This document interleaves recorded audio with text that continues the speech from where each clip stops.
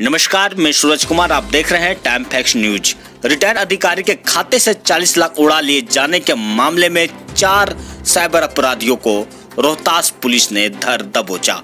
आपको बता दें कि रोहतास पुलिस को साइबर अपराधियों के खिलाफ एक बड़ी कामयाबी हाथ लगी है।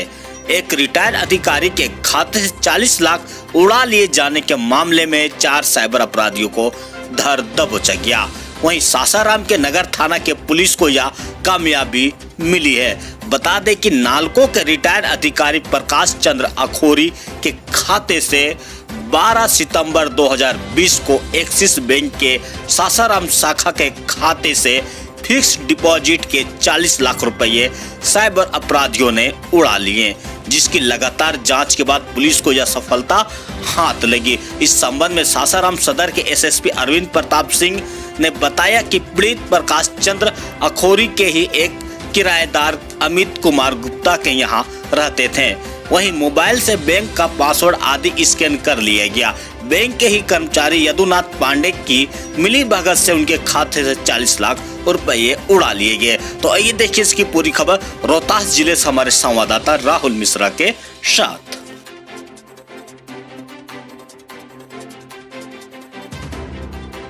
कांड यहाँ पर टाउन थाने में अंकित किया गया था।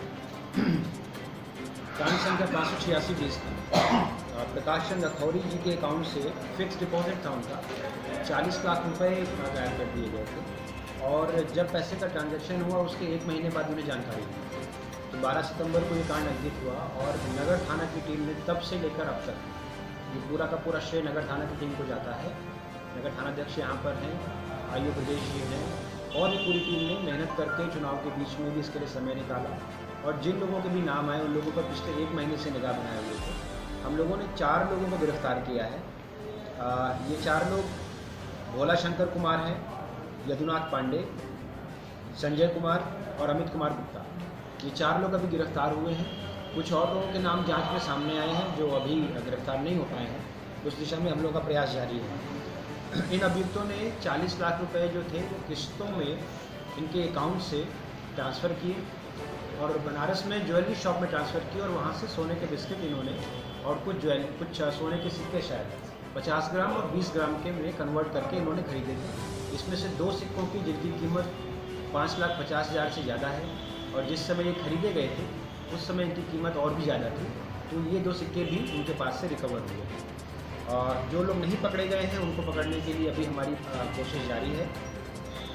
जो दो दुकानदार थे जिनके यहाँ से इन्होंने पैसे ट्रांसफ़र करके और ये सोने का बिस्किट और सिक्के खरीदे हैं। उन दुकानदारों के पास से जब जाँच की गई तो उन्होंने बिना किसी वैलिड डॉक्यूमेंट के इन लोगों को इतनी कीमत का गोल्ड दे दिया। तो इससे इनकार नहीं किया जा सकता कि इन लोगों ने पहले रेकी की होगी और जो दुकानदार इस तरह के कामों में संलिप्त रहते होंगे, उनके यहाँ ही अप्रोच करके इन्होंने सामान खरीदा होगा तो उसकी भी जाँच की जा रही है लेकिन नगर थाना की टीम इसके लिए बधाई की बात है कि एक तो जो क्राइम का नेचर है वो साइबर क्राइम है। अकाउंट से ट्रांसफ़र किए गए हैं ऑनलाइन जो है बैंकिंग यूज़ की गई है और ऐसे केस को ब्रेक करना मतलब इतने व्यस्त समय में बड़ी उपलब्धि है। इसका पूरा श्रेय जो है नगर थाना की टीम को गिरफ़्तार है। नहीं इन लोगों का आपराधिक इतिहास नहीं है। इनमें से एक या दो लोग जो विक्टिम हैं जिनका पैसा गायब किया गया प्रकाश चंद्र गौरी उनके बहुत क्लोज हैं उनके परिचित हैं। और इस प्रॉक्सिमिटी का अपनी इस नज़दीकी का ही इन्होंने फ़ायदा उठाया है। और जहाँ तक हमारी जाँच है उनके कुछ सीक्रेट डॉक्यूमेंट्स तक यानी पिन वगैरह मोबाइल वगैरह तक इनकी एक्सेस थी। और कोई प्रश्न हो तो बताएँ नहीं जो साइबर पर क्राइम हुए खासकर जो क्लोजर हैं लोग उनके थ्रू है देखिए इन चार लोगों की तो भूमिका संदिग्ध है ही। इन्होंने कुछ एक या दो स्पेशलिस्ट लोगों की मदद लेने की भी कोशिश की है। उसमें से एक लोग अभी कुछ लोग एक्सपॉन्डिंग हैं। तो उनके बारे में बहुत डिटेल हम लोग नहीं दे सकते हैं क्योंकि अभी हम लोग का प्रयास चलने जा रहा है। काफ़ी बड़ा मामला है ये साइबर क्राइम का तो बिना किसी एक्सपर्ट का हो नहीं सकता है। देखिए एक्सपर्ट साइबर क्राइम में क्या है कि ये जो रिमोट एक्सेस है ये उस नेचर का क्राइम नहीं है कि किसी ने बेंगलुरु में या जामताड़ा में बैठकर इसको वो किया है। जैसे आपके मोबाइल हैं या आपकी और चीज़ें इसीलिए हमेशा अपने पिन मोबाइल जो भी इंटरनेट बैंकिंग की यूज़ की चीज़ें हैं उनको किसी को बताना नहीं चाहिए। प्राइमरीली इनकी एक्सेस इन लोगों ने की है। ये लोग इस मामले में बहुत ज़्यादा जानकार और समझदार नहीं थे, इसलिए इन्होंने दूसरों की कुछ मदद लेने की कोशिश की।